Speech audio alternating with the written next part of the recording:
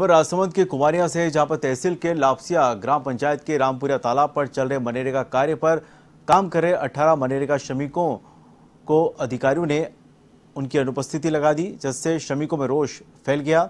ऐसे में अनुपस्थिति लगाने पर रोष जताते हुए श्रमिक कलेक्ट्रेट पहुँचे, जहाँ जिला कलेक्टर को ज्ञापन सौंपकर दोषी अधिकारियों पर कार्रवाई की मांग की।